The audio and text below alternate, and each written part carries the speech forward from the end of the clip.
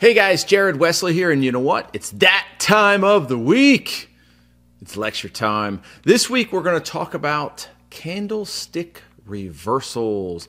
A lot of you guys kind of understand uptrends and downtrends pretty well, but what you don't understand very well are the transition phases, the stages one and the stages three, when stocks are moving into a downtrend or moving into an uptrend. And a lot of people also, they're so interested and so focused on being the first person in a trade that they get in too soon because they lack the necessary confirmation that they need to see if a stock is really going to bounce or if it's really going to drop drop. So today we're going to talk pretty much about all charts. All right, it's basically just charts, charts, charts today. Um, and we're going to look at some of these reversals and how they form these overlapping bars, these bottoming tail bars. Um, and, uh, you know, it's a very, very important lecture um, because it really determines where you're going to get into a trade and where you should likely get out of a trade. So it's a pretty high level, hardcore technical um, type talk today, uh, and I recommend you stick around for the whole thing because again, it's it's pretty detailed, it's pretty in depth. Um, so anyway, I think it's a great lecture. You're going to learn a lot, and hopefully, it'll make you a better trader. If you like these videos, click that like button, smash, hammer that subscribe button. I am Jared Wesley. Let's get to it.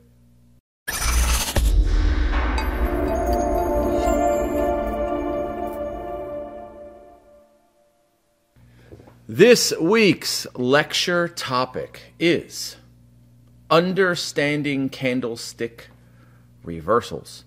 So, this is kind of a multifaceted lecture, okay? Uh, and what I mean by that is a lot of traders are very good at making money in stage two and stage four. Stage two is the uptrend, stage four is the downtrend. And then we have those transition phases, right? Stage one and stage three, and then the phases between them, right? So a lot of traders do great when the market is trending okay? And obviously they should, right? But when the market isn't trending or the stock's not trending, it's a bit more challenging. So we're going to look today at where stocks reverse, but we're going to get more granular than that. This isn't some, um, you know, double bottom retest lecture or something like that, even though a couple slides will look into that. But we're going to talk about level and depths of retracements and the sloppiness or the cleanliness of a retracement or where a stock is retracing or why a stock should or why a stock shouldn't bounce. Okay, um, so it, there's there's quite a bit to it. Um, there's not a ton of slides, maybe 10 or 15 slides, but we're going to go deep into some of these bars um, and we're going to look at them and, and, why stocks do what they do. Um, and uh, one thing I want to comment, and I'll, I'll continue this theme throughout it you do not have to be the first person in to make money. There's this ego trip with traders like, well, I got in right at the bottom. Ha ha ha. Well, who cares?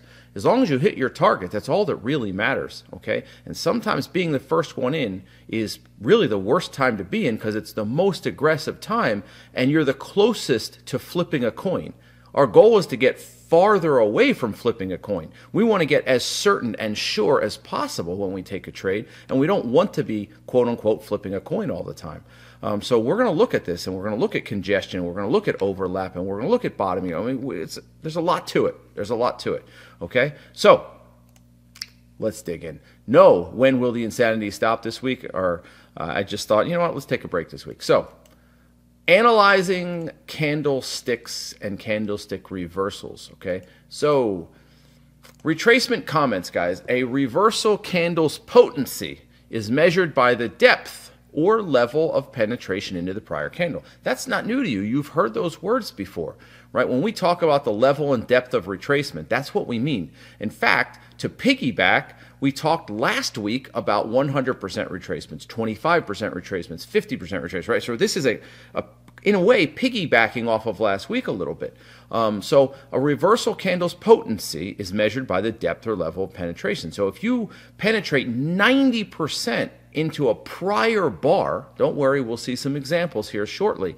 Well, that's very, very potent, right? So if you have a wide range red bar, and the next bar is a wide range green bar that takes out 90% of the red bar, you're giving the edge to the buyers right there. Okay, so we'll talk about that in more detail in a second. Tails on a candle either increase or decrease supply. Topping tails increase and bottoming tails decrease right? Think about supply is just another um, word for sellers, guys. Okay, so topping tails or tails either increase or decrease the amount of buyers or sellers in a bar. Why? Because again, I know you have to visualize it till we get to the slide, but bottoming tails and topping tails are what? They're battles. They're battles that are being fought inside of a bar. So if you have a bar that was all red, red, red, red, red, red, and then it leaves a bottoming tail back up, what happened? There was a battle being fought inside that bar where initially, originally, the sellers were in control, but then the buyers began to take over. See, the battle was fought, and you're going to go with the tail, the direction of the tail most of the time, depending on how big the tail is. Okay? Expanding range candle bodies tell us buying or selling power is being ignited or exhausted depending on where it is happening, right? So if you see a range expansion bar, wide range range expansion bar, but it's the eighth bar up, that's an exhausting move. That's the end of the move. But if you see a range expansion bar or a wide range bar, the first or second bar of the move, that is expanding the range of the move, not ending the range of the move, if that makes sense. Okay? Narrow or narrowing range candle bodies tell us volatility is low or momentum is decreasing. Narrow or narrowing range candles. Think about that, what I'm saying here. We just talked about wide range. Now think about narrow range. Narrow range candles, okay? Say it's uh, Tesla and a normal bar is a dollar and this bar is 25 cents. Well, there's clearly a bit of a stalemate there, right? There's clearly a back and forth, and the momentum is slowing down. But what does that momentum mean? Well, where it happens matters. Is that momentum slowing down because it's taking a break and getting ready to continue in the same direction? Or is the momentum decreasing because one side is losing power and the stock might reverse? So these are the things that we're going to talk about. Okay, so this is basically an outline of what we're going to talk about. But before we do, uh, just a quick, and I'm going to go over this quick, a quick review of last week. We talked about it last week. We talked about 50 and 100% retracements. And again, I'm going to go through this quick, okay, very quick. We talked about 40 to 60% or 50% being the ideal retracement. If we did 25, it hadn't rested long enough and we might question the strength because the stock might run out of gas. It might bounce back up but fail quickly because it didn't rest long enough. If it does a 100% retracement, we're questioning the strength. We're going, well, why didn't the buyers step up sooner? Why are they looking for discounts? Why are the buyers looking to buy off the bottom? Well, they're clearly not convinced this stock is going to put in a new high right? Think about it this way, guys. It, what, I don't care what it is that you're buying. If the demand is huge, you'll pay up for it, right? You will. If the demand is massive, you'll pay up for it. But if you think the stock or the product or the car or whatever is going to decrease in value, what, were you, what are you going to do? You'll just wait for a lower price. You'll come back next week and buy it cheaper. Well, that's what happens on a 100% retracement. You'll just wait for lower prices because you don't believe this is the bottom. So we looked at the 25%, it just hasn't rested long enough. The 100%, it's not that it won't bounce, it's just that the bounce is much more questionable. So the 50% is kind of that Goldilocks area that we talked about, right? Uh, and we went through this last week as well. Retracement levels are used to measure the strength or weakness of a move. They help us determine if the current trend will continue or reverse. The level of retracement helps us determine this, right? That 50%, 25, 100%. It also helps us determine the odds of success. So in short, retracement levels help keep our expectations in check. They keep us objective. Given the prior pivot compared to the current pullback, we can surmise what might likely happen next. So now, let's dig into this stuff. Let's get in, okay? Retracement comments. I told you guys a few minutes back we're going to need some participation today. All right, because we're going to have a few slides like this where there's just nothing but charts on the slide. Normally, I mark them up and give you all the answers. Don't worry, there's slides like that too. Um, but today, I want to take a look at these three. Number one, number two, number three is what we'll call them from left to right one, two, three. So if we look on the left, I want you guys to talk to me here about the five red bars. I want you to talk to me about those five red bars. What are some comments that you're seeing on these five red bars to the left? What what's the thought process? What are you thinking here as you see these red bars? Okay. Now again, look at it as a collective. Look at all five of these red bars. Okay. We'll get to the green bars in a minute, but just look at those red bars to the left. Sequential pullback, range is shorter, not much overlap, decreasing momentum. Ooh, good job. Smooth downtrend. Okay, selling momentum is slowing. Good. Yes, yes, yes. You guys are listening. I love it when you guys listen. This is exactly what we're looking for, and many people made the comment. They're decreasing in size and selling momentum is slowing down. This is exactly the comment I'm looking for. If you look at the first two bars, big time red. I mean, it's a wide range red bar. It's a wide range red bar. But now the bars begin to get narrower, but also the lows are not nearly as significant. If you take a look at the first bar to the second bar, that new low is very significant. Hence, it's a wide range bar. But as we decrease, the overlap is getting a little bit bigger, right? And the new lows are getting a little bit shallower. So if the momentum is decreasing, we can surmise the sellers are getting tired. Now, we don't have enough information yet. We don't have enough to know are they tired but still weak and going to go lower after a resting period or they just exhausted tired and they're going to bounce. Those are two different things. So you can be tired but get enough rest to continue your journey. Or you could just be flat exhausted and that's it. The buyers are going to come in and take over. We don't know that yet. But perfect. You guys are dead spot on on that. Then what we have is a green bar and there's a level of penetration on this green bar that's about 80 or 90% right there. So that's a concern for the sellers because we went from sellers losing some momentum but still being in control to buyers having a large impact on that prior bar. And then the next bar followed through and continued higher. And then you get a red bar. You think, okay, sell set up, fair enough. And then a green bar, and then red bars. So now we look at this, and I look at this double bottom right here as potentially buyable. Obviously, we're not looking at enough information, but on the limited information we have, I'm looking at this as potentially buyable. Okay? Why? Because we're retesting an area where the stock was tired previously and bounced previously. On top of it, the move down here was a relatively smooth, controlled move. We didn't really put in a significant new low. Now, I'm not saying I would buy it.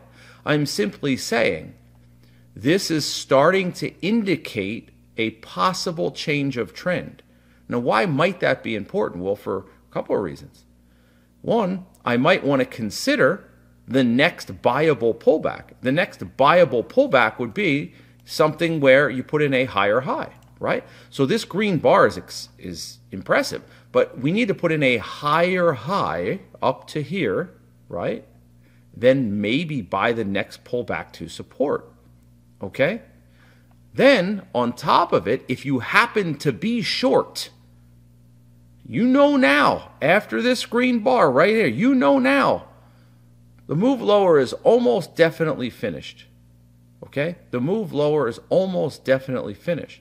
The question is, in which time frame do you like to see those figures? Well, in which time frame are you trading? Daniel, we don't ever trade in a vacuum. So you're always going to look at a higher time frame for your bias than a lower time frame for your entry. We talked about that oh two or three weeks ago, maybe three. This could be a one minute chart, it could be a yearly chart. It doesn't matter. The concept does not change. So I want to repeat because it's really important.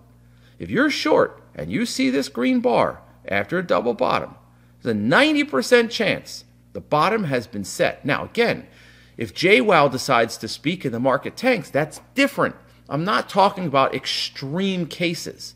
Okay? So if you see the double bottom and then the wide range greens bar, that's it. I'd, I'd, lower your stop right here. Now, if you're an all or nothing trader, then you're going to just stick stick it, right? Take it on the chin. Now, would I buy this? Probably not. But what does it allow me to do? Project into the future. The projection here simply for me says a higher high with a pullback to newly formed support is an area I would be very interested in buying this. See, right now, this here, this area, this pivot, that's resistance. That's resistance. But if we break above it, the ceiling becomes the floor. So now I'm looking at a possible transitionary buy setup because of the slowing momentum and the double bottom retest. So when you guys look at stuff and go, wow, how did Anmol know it was going to bounce there? He's taking the same concept that we just spoke about, looking at trend lines, looking at moving averages, looking at overall strength and weakness, and combining with what we just talked about. And all of a sudden, we're getting those multiple concepts to come together to improve our accuracy. Okay? Now, let's move to the middle, or else we're going to be here all day. I just spent like six minutes talking about one single one chart. All right, red bars. We have six of them. Talk to me. Chart number two, just the red bars. Just the red bars. What do you see? How do you feel? Talk to me. Ignore everything else, just the six red bars. How do you feel?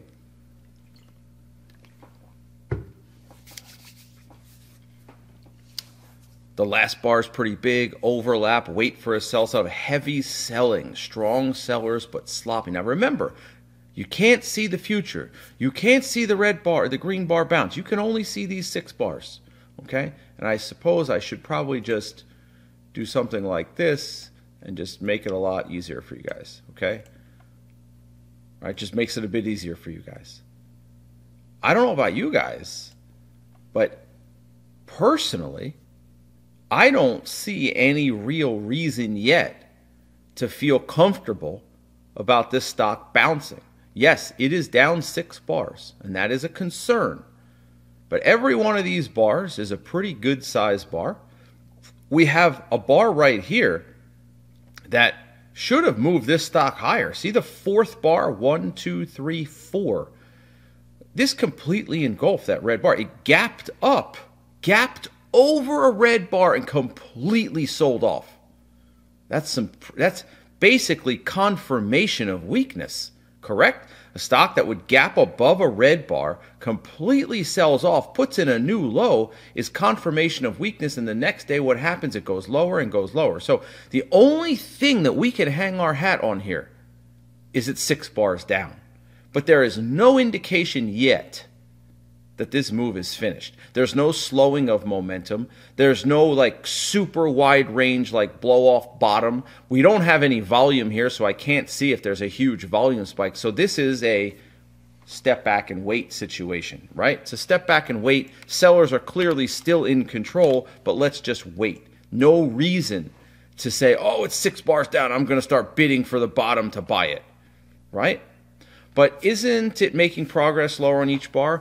Um, making progress. Well, it's making progress. I mean, each bar is a good sized bar, but we don't have enough information to call a bottom, right? It's so it's too extended to initiate a new short, certainly too weak to try to go long. And you sit there and you ask yourself, well, this is wait and see. More information is needed before I get serious about this thing. Okay? So that gap to me right here, that fourth bar, that is a very big deal. That gap should have set the low. It absolutely should have set the low here on the fourth bar, and it didn't. It went much lower. So then it, the stock comes back in. Buyers step up a couple bars, but then you get a topping tail. Guys, what are you doing here? Right where my cursor is, topping tail, red bar, what's the thought process now? Topping tail, red bar, what's the thought process now? Talk to me. Lower prices, sell setup. I don't see really anything wrong with this. I mean, this did almost exactly what you'd want a sell setup to do, right? I mean, you're sitting here going, wait a second. So it bounced a couple bars. Okay, cool. It needed a break. that's exactly what the stock needed a rest. Topping tail, great. Sellers are still in control. The stock, remember, this topping tail suggests at one point in time, at one point in time, this was a green bar. Remember, read, visualize inside the bar. At one point in time, this, this was a green bar. Sellers immediately came in. The bar leaves a topping tail suggesting selling pressure, leaves a red bar suggesting selling pressure, and about a 50, 40 to 60%, 50% retracement on a stock that we know is already weak. This is a sell setup. No ifs, ands, or buts about it. It's a sell setup. See, you can't see the future. You don't know any of that stuff. But in real time, that's a sell setup. And it's a it's a good one from what we see, from the information we have. Okay? And then it continues lower, puts in another retest with a bottoming tail, and then this. This is now a concern. It's a concern because a stock that's truly weak should at least put in a, a lower low right? It should put in at least a lower low. How big of a low? Well, that's to be determined. But it should at least put in the fact that it put in a bottoming tail at the exact same spot buyer stepped up before is a concern. Does this mean it's going to fail? No, but this green bar certainly has now become a problem. It's become a problem because the retracement is 50, 60% back into enemy territory on a stock that really should have put in a new low. This is what I call wait and see. Get the Gatorade out and drink a little hopium because there's nothing you can do here. There's nothing you can do here. You took a good sell setup. Everything you did was check, check, check, check by the book. You did nothing wrong. Er, the trade starts out very nicely. Red bar, red bar, red bar, retesting the low. Everything looks good. But this wide range green bar puts a little bit of a kink in the works. You cannot act on this. It's not enough information. Okay? So this red bar could, the next bar could just put in a little doji and continue lower. Right now, if this green bar was like an 80% retracement, then yeah, I'd tell you, you can fork it. It's over. It's over.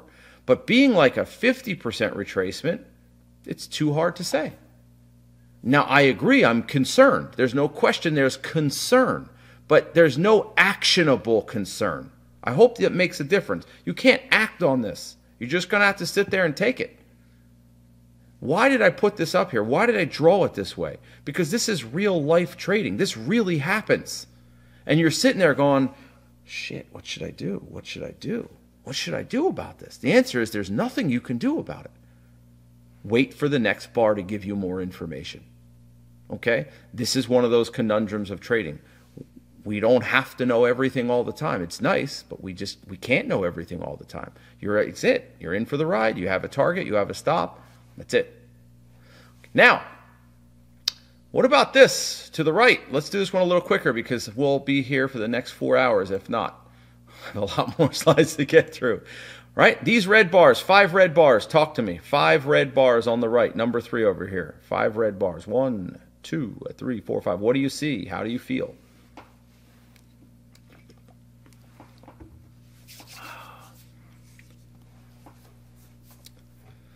Same as number one, still concerning, momentum decreasing, momentum slowing, selling, slowing down. You're right. The commentary here should be very similar to number one.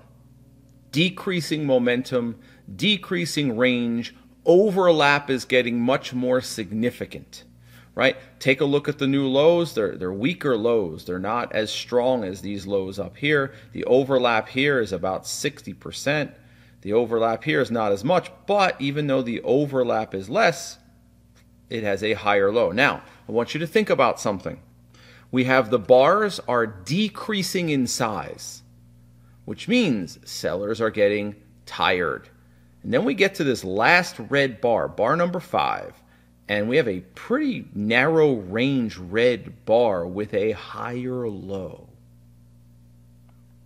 That's a warning sign.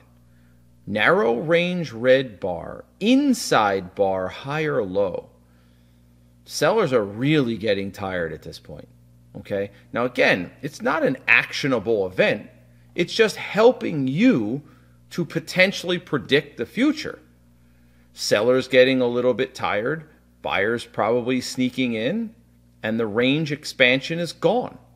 Right? There's no more range expansion. The bottom is likely coming, but we don't know yet. It hasn't set a bottom, but we're thinking, hmm, if I could get a bounce and a retest off this, I might look to go long at some point. So that's what we get. We get a wide range green bar that takes out one, two, three, three red bars. That's a very potent green bar. You took out three bars of sellers.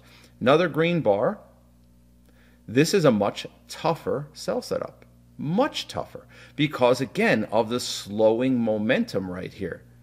So when this pulls back and does not put in a new low, now I know my stop loss needs to be here.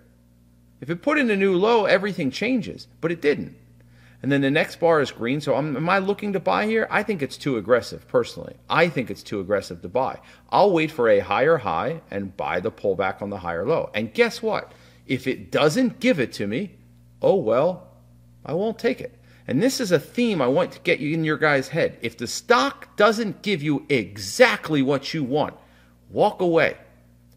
It's like, I don't know, I can't think of a good analogy. It's like going to a car dealership and saying, I will absolutely not pay more than $50,000 for a car. I don't care what the salesman says. I don't care how good the deal is. I'm not paying more than 50 grand. You walk out spending 60. That's a problem. If you can't get the deal you want, you walk away. If you can't get the pattern you want, exactly how you want it, you walk away. And this is the difference between a newer trader and an experienced trader. There's two differences here. One, the discipline. That's difference number one. The experienced trader has the discipline and, and they walk away. Okay?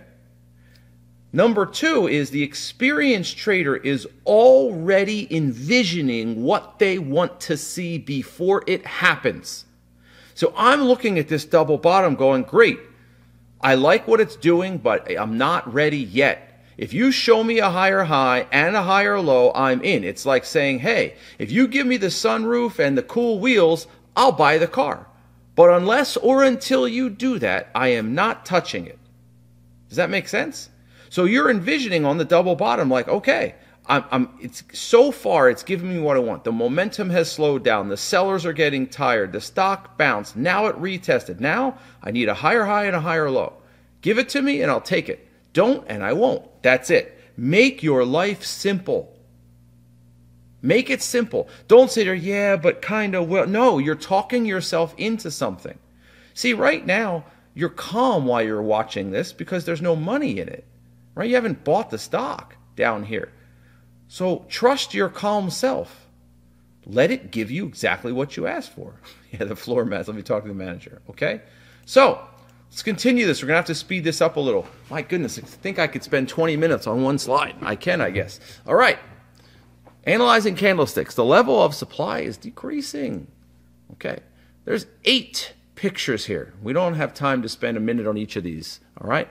The first one is just your garden variety pullback. Red bar, red bar, red bar. Okay.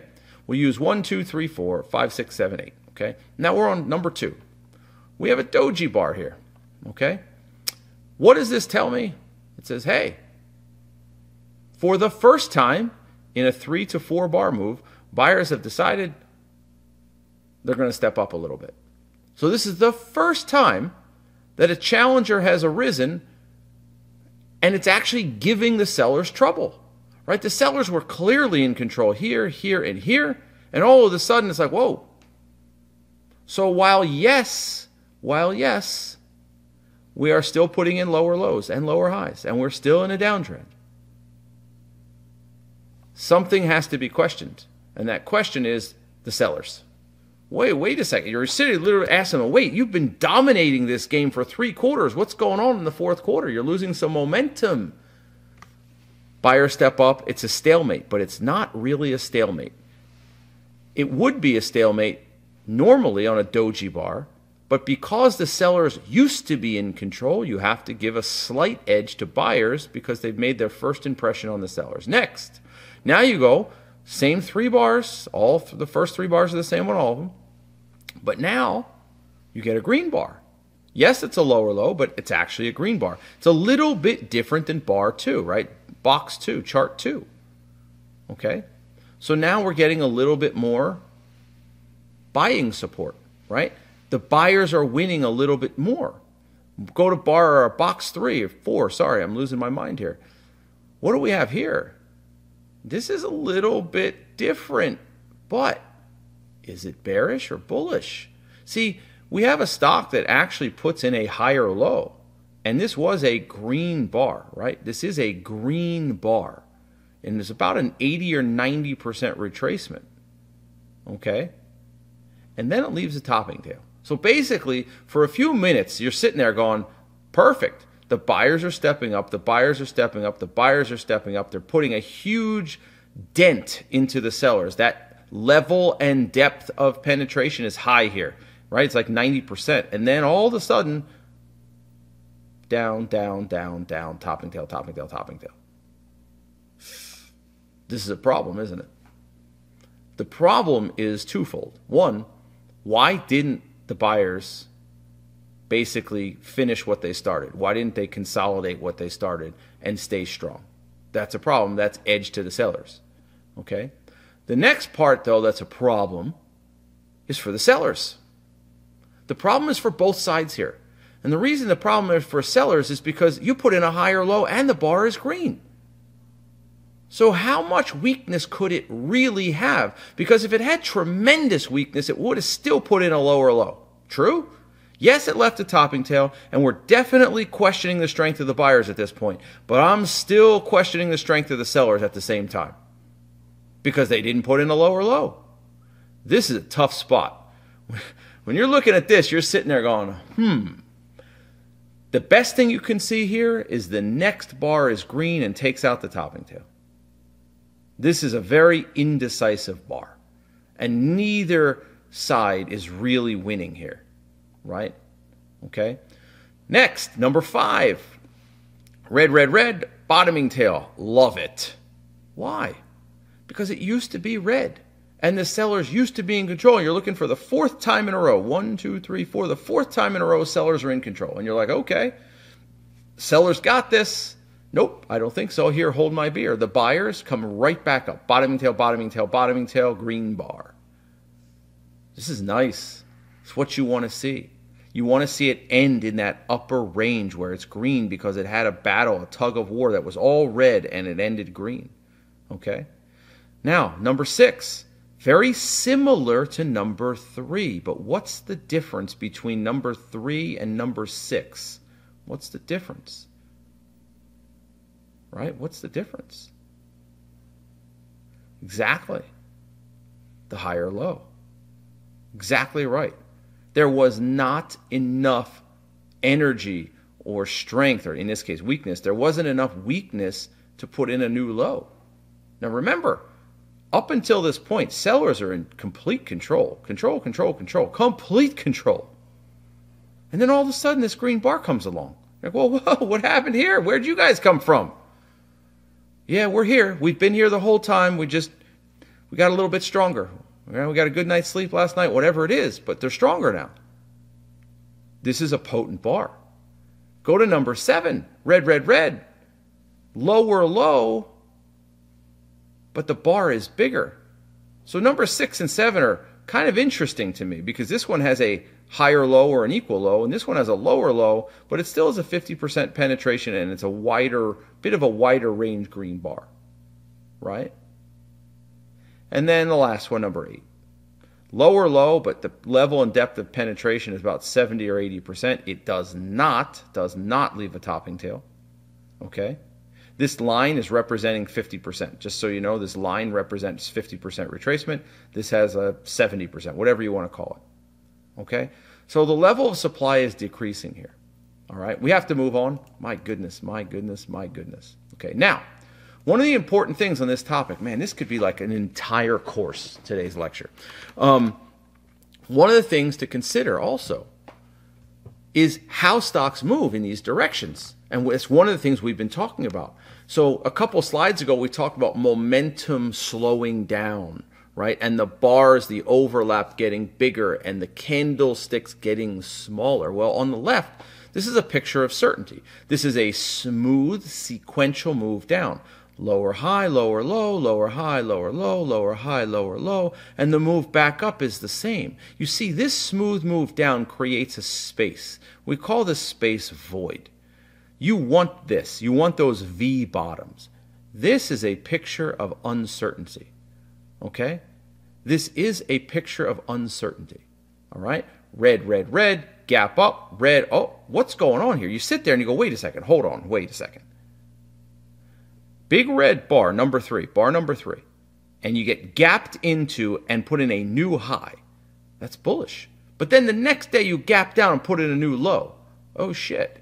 Which is it? Is it strong? Is it weak? Because then the next day you get a green bar, green bar that takes out the red bar, and the next day a red bar that takes out the green bar. This, excuse the language, but this is a shit show.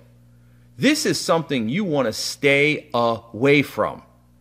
Do not touch this thing. Now, I get it. The first day it maybe gaps green, you might trade this on this day. That is fine. The next day you may trade it on this day. That is fine. But you are not swing trading this thing. This is this is fits. This is trouble. Okay? And you're right, the market does act like this sometimes. It makes our lives difficult. We want pictures of certainty. When you see pictures of uncertainty, stay away. Why? Because there's thousands of other stocks you can choose from. Why do you have to pick this one?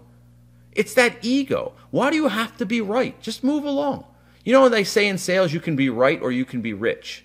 They say that. That's a common mantra in sales. You can be right or you can be rich. I'd rather be rich. Put the ego in the closet. Just take the easy money. We just saw this, okay? Different retracements. Which is the better reversal? Well, we, we saw this earlier. Wide bar, wide bar, narrow, narrow, narrow, and look at the lows. See the lows? Very, wow, market is ripping right now, right? See the lows? Wide range bars, significant new low. Narrower range bars, not significant new lows. Momentum is slowing. Not huge fear. No ending bar. Right? So there's not a lot of fear here. And there's no wide range anywhere. This first bar is not happening on the last bar. There's no there's nothing really here that that just emphatically says that sellers are in control. The momentum is just slowing. But the issue here, right? The issue here is the stock might just go in a protracted narrow range resting period. We don't know. We still need more information, but what we do know is the momentum is slowing, sellers are decreasing. Over here, starts off narrow, gets a little bigger, a little bigger, a little bigger, a little bigger, and then bam, momentum is increasing, range expanded, followed by an ending bar. So, what I'm showing you here is while this certainly looks like a bottom is being put in, there is no huge shock value reversal here. Over here, you basically flip the red bars, right? Just flip them upside down, and it starts off slow but ends with a bang. And if you get a volume spike on the wide range bar and a green engulfing bar, now you're probably ready to buy. You don't need the double bottom retest. You don't need the higher high and the higher low because the stock already gave you the ending move, the range expansion ending bar on volume, assuming we had volume, and then the next bar is a turnaround bar. The bottom has been set. Over here, we need more information. We need the stock to bounce, pull back, give us a higher low and a higher high. All right? Now, let's look at it a little differently. Change gears slightly. Let's pull out a breakout. So, so far we've been talking about bottoms. Well, we're going to do that on this slide, but we're also going to talk about a breakout. This was a Jeff Yates trade from last month. This was a Jeff Yates trade. Okay, now, what do we have? Red, red, red, red. Bottoming tail, doji bar, bottoming tail. Do you see where we ended the previous day? There's a level or an area of support. Okay, at 64.60. This is an area that is absolutely buyable. Yeah, that little topping tail puts a kink in the works. The third bar here.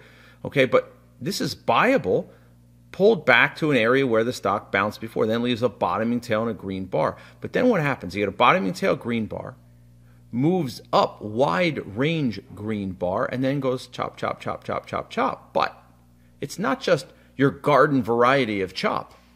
This thing chops around, but leaves what? A big bottoming tail. What happened? A battle was fought here. Buyers and sellers got after it, and the buyers won. Next couple bars, buyers hang around.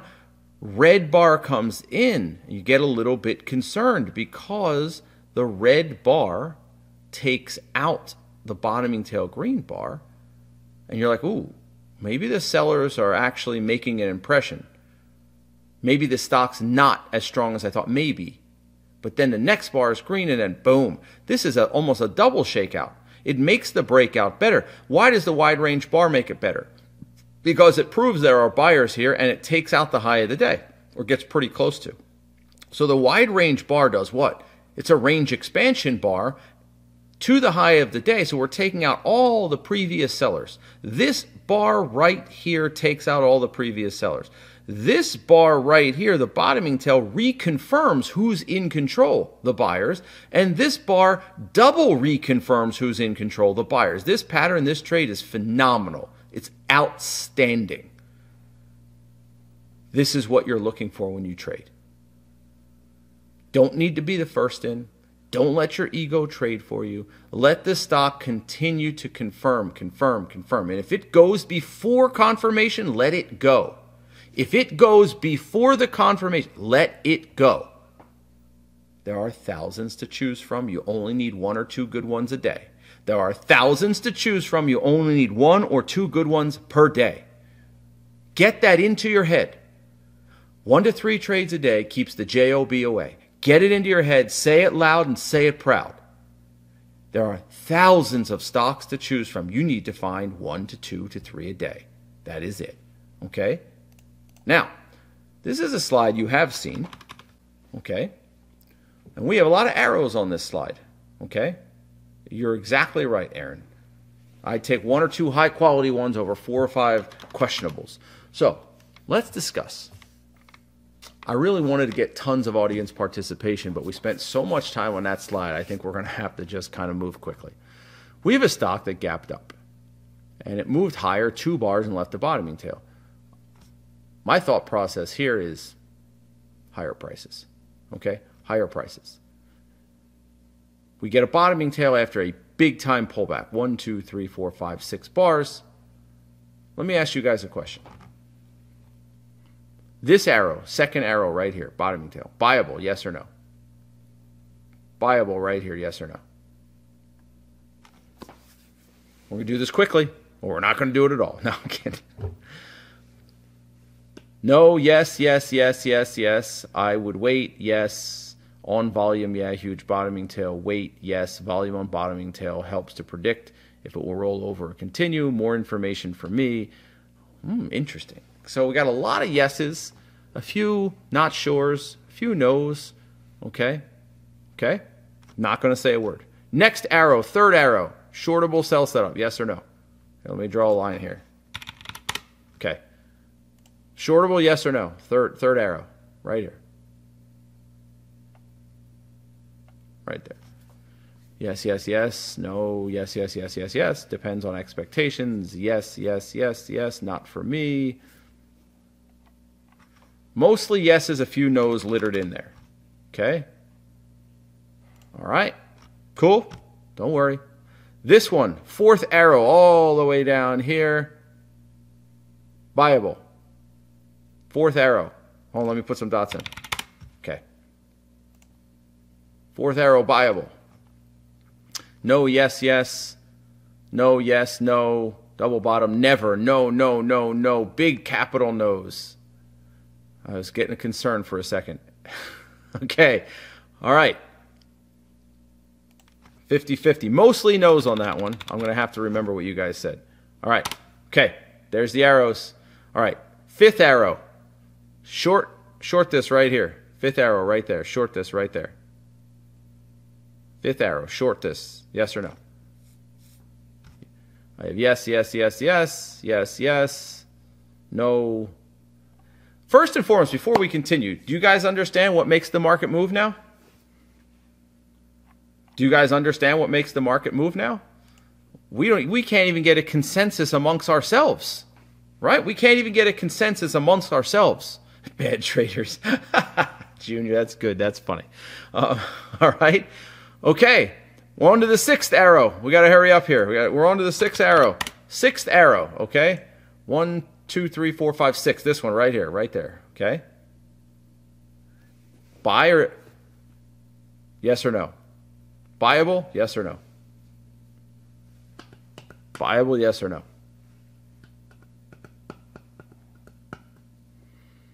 Yes, yes, yes. Wait. Need volume? No, yes, no, no, not yet. Yes, no. No, no, wait, no. Okay. All right. Hold on. Seventh arrow, shortable. Right there. Seventh arrow, shortable.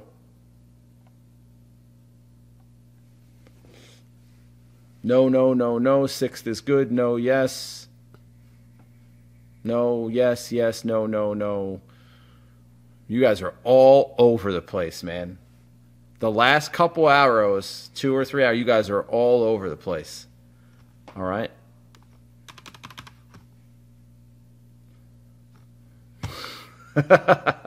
all right. All right. Now, last one, last one. This this arrow right here is this the seventh arrow? Let's see, one, two, three, four, five, six, seven, eight. It's the eighth arrow. Eighth arrow. Okay, eighth arrow. Buyable, yes or no? Remember, you can't see the future. Yes or no? Aaron, yes. Robert, no. Scalp, yes, yes, yes, yes. Yes, let's go. Yes, no. no, no, yes. All right. Let's move along. I'm not going to give you the answers. Let's move along. I'm kidding. All right. You love these participation lectures? Well, it's good. People are participating. It's awesome. So now, let's see what I thought about it yesterday when I put this together. Okay. Start with the first one here. I didn't give a comment on whether it was buyable. I just said the next reversal is likely shortable. Shouldn't shortable be one word? I think it is. Okay. I forgot to ask myself if this was buyable. I think you could pri- probably buy this for a scalp. If you were going to do an option, oh, there's no question you could take calls on this. There's a 100% chance you could take calls on this long. That bottoming tail is very, very potent, especially if it has volume. So, yeah, I think you could probably scalp it.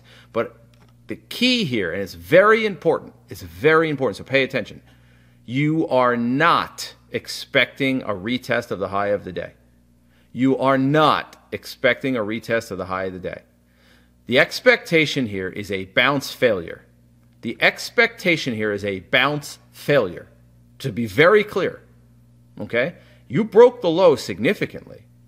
Something happened between the open of this stock and here. You have to ask yourself, what changed? The stock gapped up and huge buyers stepped up. What changed? It's a big time question. You get the gap up, buyers, buyers, the first two, three bars a day, and all of a sudden the sellers came in and said, No, I don't think so. What changed? You can no, you can no longer have a bullish bias on this stock unless you're scalping the bounce. Scalp the bounce, cool. Call options, cool. Fine, no problem. Next, very much shortable. That means yes, very much shortable on the sell setup here. Why? It gave you that 50% retracement. It's proving to you. Look at the momentum of the buyer slowing down. Bottoming tail, big green bar, big green bar, smaller, smaller, smaller, doji, doji. Boom. Trading it down to that area. Down to that area right there, right? Okay. Now, Expect a bounce, but not buyable here. Again, if you're looking for a, a, a very short scalp, like a dirty little scalper, Anmol scalp, then perhaps, perhaps you're sitting on some support, maybe it'll bounce, but there's no question the stock is showing weakness. You would traditionally never buy this, right? You would traditionally never buy this. Next, very much shortable, okay? Very much shortable. Why? lower high, lower low, another lower low, another lower high, right? You're going to short it down into here. Why? Well, we do have some support over here. You can see it on the left, way over here on the left. We have some support there. We have some support here. But I like this red bar here. My risk reward, I don't know what it is, but it's a decent area to short. Buyable, aggressive, but potentially buyable. Why? Well, it's potentially buyable because it's a double bottom retest, but it's not just at support here. It's also at support from over here, right? Okay? But it's still aggressive. Why is it aggressive? There's two reasons why it's aggressive. You guys tell me the two reasons why it's aggressive. It's buyable, but it's aggressive. Tell me why. Tell me why. It's two reasons it's aggressive. Don't just give me the one, give me both. It's probably below the moving average. It's below the trend line. Mm-hmm. Aaron, number one, it's in a downtrend. Okay, that's number one. Again, we can talk about trend lines and moving averages, cool, but it's in a downtrend. Okay, and I'll give you a hint. We just talked about it like two slides ago, three slides ago. We just talked about it. You got no one has given the second answer yet. You're all right on the downtrend. You're all right on the moving average. You're all right on the you know the trend line. You're all right. But none of you have said what I'm what I'm wanting and needing to hear. Do we have to go back to the slide? Here, I'll flash it really fast. I'll flash it really fast. Okay, we're we're gone. We're back. Okay. Okay, we're back. Oh, finally, Sean. It's way too choppy. Look at this crap on the left. Look at this garbage. Look at this right here. Red bar, green bar, red bar, green bar, doji bar, red. Look at that area right, right there. Right there. Why do you want to buy up into that? Yeah, you get a smooth move till about, oh, right where it got choppy. It's just crap. Right? So it's in a downtrend. It's below the trend line. It's below the moving average. It's got all kinds of congestion to the left. I just, to the left, that's right. You don't go against Beyonce. Right here, tough shortable. Why? Why is this tough shortable? It's tough shortable because it put in a higher high and now the stock has put in a double to triple bottom. It's put in a little bit of a double bottom, plus there's support over here. And this ends up being the best short of all. But this is trading right? So this is a tough shortable. If you want to scalp it for a brief scalp, yeah. Buyable with scalp expectations. Why? Why scalp expectations? Okay. This last one here. Buyable with scalp expectations. Why? Why do I mention scalp expectations?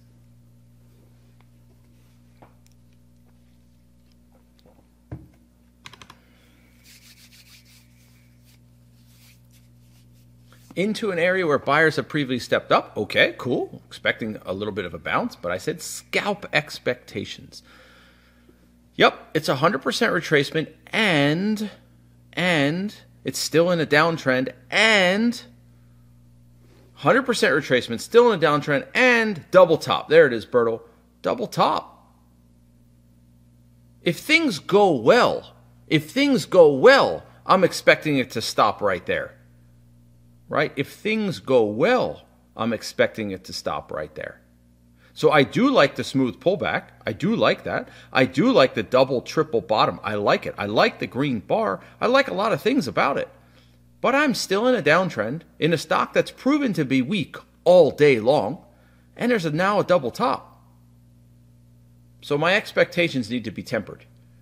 Didn't say you can't take it but you're tempering your enthusiasm. You're a 3 RO or nothing trader, this is a tough trade to take. Right? Tough trade to take. All right. Let's move on. Moving along. Okay. What do we have here? Red, red, whoops, press the button. Red, red, red, red, red, red, red, red. But it says, what is this? Not just this area. Don't don't take those specific three bars. Just look at this. What is this? This collection of red bars. What is it? Volume, volume, volume, volume. What is it? Yeah, it looks parabolic. It looks climactic. Right? That's what it looks like.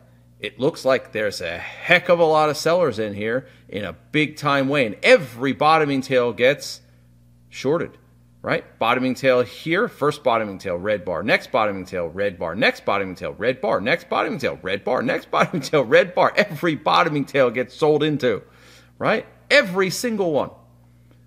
And we're also down one, two, three, four, five, six, seven, eight bars. And we have volume. You can see the volume spike at the bottom. Big time volume, increased volume, increased selling pressure. So, so, how do you feel when you retest the climactic low. What are your thoughts? See where this arrow is?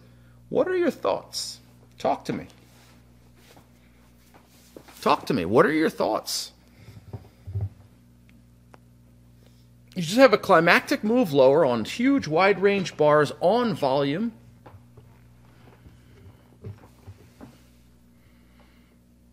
Absolutely no buy, says Yaroslav. Like the bottoming tail, interesting watch for transition, watch for the next higher or low. So the thoughts here are how aggressive do you want to be? Right? How aggressive do you want to be? Because when you look at the climactic nature of this move, the parabolic nature of this move, and you look at the volume, and then you look at this, it did not put in a new low. It put in an equal low with a bottoming tail. This is actually a pretty buyable area, right? It's a pretty buyable area. Now, the negative here is the congestion, the topping tail, the red bar. There's, like, there's a lot of crap to the left. But despite the crap to the left, there should be a high level of confidence the low has been set. So, this is the conundrum as a trader. Here is the conundrum as a trader. You have a high level of confidence that a low has been set. But man, it's tough to buy it because I don't get the volume spike I want on the bottoming tail, and there's tons of overlap to the left.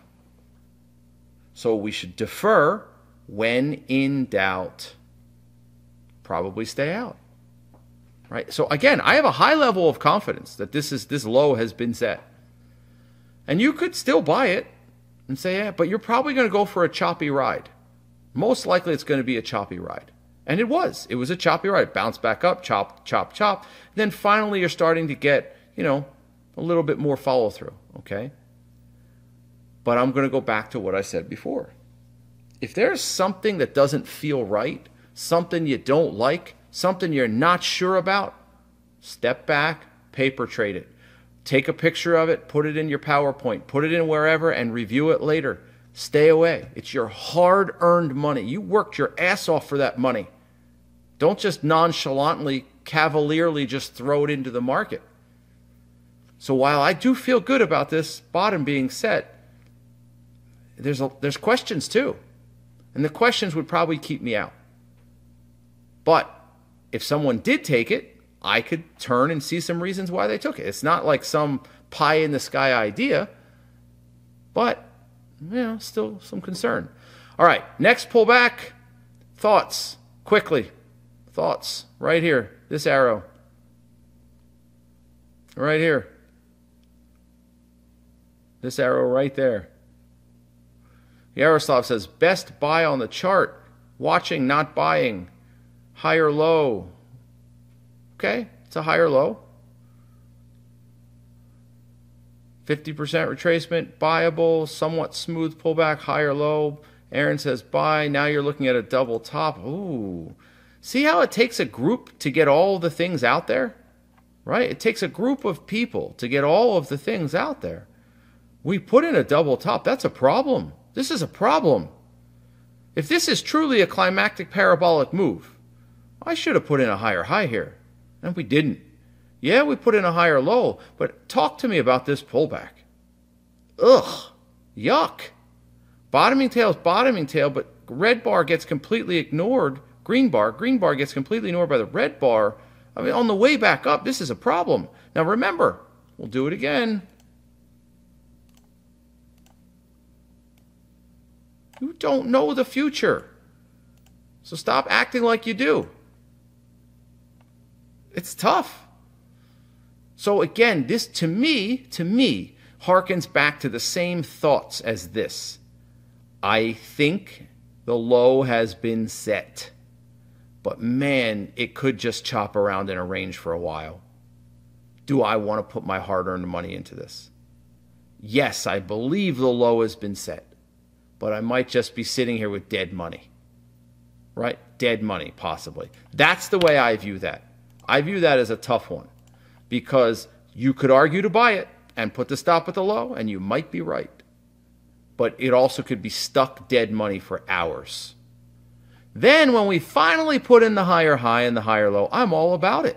You give me this little pseudo three or four bar play right there, put the stop under here because it's coming off a climactic, then that's a much better place. But even that, even that got choppy. Even that got choppy. All right? Moving along. Moving along. Oh, man. I should divide this into two. Should be like part one and part two. Maybe I'll do that. I'll cut this lecture in half. Part one, part two. Ah, all right. Okay. This stock pulled back and ripped one, two, three, four, five, six, seven, eight bars in a row up. Rip, rip, rip, rip, rip, rip, rip. Buyers, buyers, buyers, buyers. Little bit of congestion, rips higher. Okay. What do we see? I'm giving you the answers because we don't have time for you guys to type them in. The second half of this buyer's move, this big move up here on the left, momentum is waning. Red bars are coming in, topping tails, doji bars, smaller candles, exactly right. The momentum is definitely slowing down here. Okay? We get a pullback to support and we bounce. But when we bounce, we do not put in an equal high or a higher high on this bounce right here. We do not. Supply is building. We pull back, we pull back, we put in an equal low here. We've retested, we bounce. What do we do? Retest the prior pivot high, but we don't break it. Supply is building. This is that stage three tug of war that we talk about. The sellers, or sorry, sorry, the buyers were clearly in control on the left. No question. But now, now it's all the novice traders getting in up here. Jared, it's only nine bars up. I think I should buy the high. And then they get away with it. See, see, see. anyway, right? So over here, it's that tug of war battle, buyers and sellers. Supply is building, selling pressure is building. Stock pulls back, support, tanks. Why did it tank under support? You're probably reading it, but why did it tank under support? Obviously, because there's more sellers than buyers, but that aside, because this move up created this void. The big move up leaves no support below. Right? This big move up left nothing here. It just went up, up, up, up, up. Once a smooth created demand area, this was created by buyers. This demand area was created by buyers. Once this smooth demand area fails, there's nothing to stop it from moving lower. They fought the good fight. They fought the battle. Once you break below the green line, it is O V E R. Over. Okay? That's it. And then the sellers come in, push it all the way back, and what happens? Demand is building. Why? Because that's where demand happened before. Note red, red, red, red, red, red, red, red, red, red, red. Buyers stepping in, red bar, buyers stepping. This is the tug of war again. This is the buyers and sellers fighting it out. Demand is now building, move back up. Okay? This is the thought process you need to go through to understand the next likely move of the market or a stock. Okay, now, do you guys remember this gem? Do you guys remember this gem? This is Mr. Singh, the master, the man, the myth, the legend. I can't even call him a man anymore. He's above that status now. He's legend. Okay? He's legend. Do you guys remember this little 15 minute call option play on the Qs? Qs one, two, three, four, five, six, seven, eight bars down into support, small shallow bounce. Wide range red bar right into support bounce. Look at the daily support, bounce. I'm almost just looking at this going, hmm, 200 MA on the daily. Extended 15 minute into support. And again, the support could have happened at 292, right? It's a range. It's a range of support here. And he's like, all right, guys, call options on the Qs. And you guys are like, what the, what? Boom. All right, guys, out for 50 cents. I'm going to go to the beach now.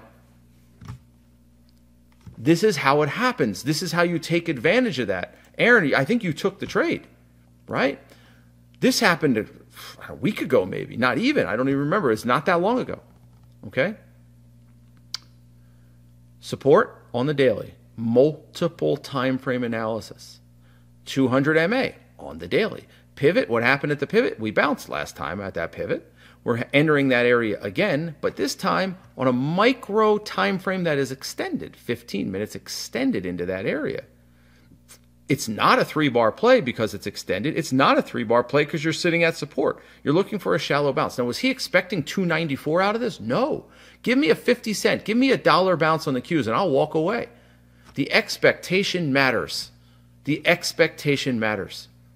Okay? Yeah, made two grand in a few minutes. Done. I put it in here because it's basically everything we just talked about over the last five, six slides, but combined with expectation. The expectation wasn't to get 100% retracement. The expectation was to bounce back up into overhead supply at like 292, 293 and walk away. Dirty little scalper. He's not core trading this long. The expectation was a scalp long. Okay? Bam. mRNA, not that long ago. No, guys, I hope you see what I try to do here. There's a method to my madness. Sometimes what I say or do doesn't always make sense in your mind, but I've used Jeff's trade on NEM. I've used Anmol's trade on the Qs, and I've used mRNA. Why? Because a lot of people tell me or they comment, yeah, Jared, that, that slide's like two years old you used. No, it still happens today, every day. Everything we talk about is still relevant today. I've been doing this 18 years and it's been relevant then, it's relevant today. So these last couple few slides are things that happened in the last week. Okay? So we just talked about buyers, buyers, buyers, buyers, buyers going up, up, up, up, up, up. What happens? On the left, the buyers get a little tired, chops around, right? Selling pressure comes in, gap, maybe it's earnings, I don't know, moves up, chops around, pulls back. What happens? Double top, selling pressure, bearish sentiment, supply bounces, pulls back. There's support here. So this is an area that is very, very tough to trade this stock. Yes, I can tell you it's probably going lower, but it's so sloppy. I'm going to probably stay away from it. Just because I understand what's likely going to happen doesn't mean I have to trade it. So anyway, it pulls back, goes below, the moving average. And here, by the way, by the way, I didn't draw this on here, but we could do it right here. What's that? Let's make it, I don't know, make it pink. You're breaking below the trend line, right? Draw an uptrend line. You're breaking below the trend line after a lower high, after congestion, breaking below the rising moving average. And basically, once you get under 170, timber you're going to short this bad boy at 170. Maybe first target's the double bottom. And once it, we just talked about it two slides ago, this move up created this void down here. This move up created this void down here. Right? Crazy. Could you call this a level one gap? It's tough. The, the percentage there is big, right? It went from like 163 all the way up to 190 ish. I don't know. That's like a 20% gap on a 100 plus dollar stock, right? This one over here, if that's what you're talking about. But this stock, that's it. So, why is this important? It's important because you don't have to trade the slop and the chop and the junk. But you have to know it's there. Why do you have to know it's there? Because at some point, assuming we are correct, the double top retest stage three is going to turn into a stage four. And when it does, I want to short the stock.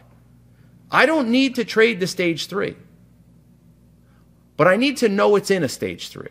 Because now that I know it's in a stage three, I just know when it gets under 170, it's over for mRNA. It's done, it's finished. Short it under 170, swing trade it, find an intraday trade. So again, it's not about necessarily trading it in this stage three. It's about knowing what's going to happen next. And it may take a week or two for that to happen. But it's on a watch list now. It's on a backup. It's on a swing list. This is how great traders trade. Okay? So, whew, these lectures are going to have to get shorter, my men and women and people. All right. Recap. A reversal candle's potency is measured by the depth or level of penetration of the prior candle. Okay? Tails on either, sorry, tails on candles either increase or decrease supply. Topping tails increase, bottoming tails decrease. We went through this. We saw it on that several charts. Expanding range candle bodies tell us buying or selling power is being ignited or exhausted. Wide range bars, range expansion bars. Narrow or narrowing range candles or bodies, narrow range bars, tell us volatility is low. This is a summary of everything we talked about. It was on the first or second slide, and now it's on the last slide. Okay? There was a lot to unpack there today, guys. A lot. I mean, we could have spent hours, plural, doing that today. A couple things I want to leave you with. You saw what bottoming tails and overlap and void do. Great. We learned that wonderful. But I want to leave you with this.